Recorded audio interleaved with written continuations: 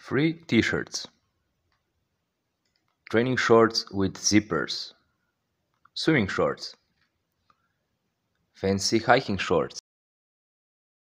A white belt. Two pairs of underwear. Three pairs of socks. My main phone with charging cable. A mobile device that I use as camera. Toiletry bags. The actual toiletries. Wallet and keys. A lighter, a flashlight, band-aids and my trusty Swiss knife. Salomon's shoes. A windbreaker and everything fits in this 10 liter backpack.